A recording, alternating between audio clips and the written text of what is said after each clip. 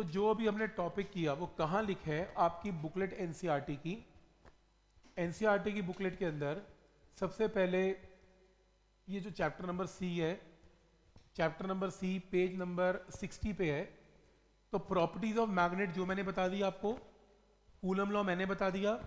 magnetic field आपको पता है यूनिफॉर्म नॉन यूनिफॉर्म और नेक्स्ट है मैग्नेटिक लाइंस ऑफ़ फोर्सेस